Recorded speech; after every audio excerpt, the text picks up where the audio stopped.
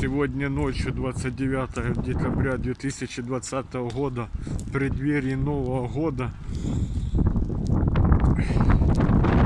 кровавым, беспощадным и преступным способом при, при штурме монастыря Божьего арестован и задержан схимонах Сергий, который предрек старейшее падение Путина, если он не покается.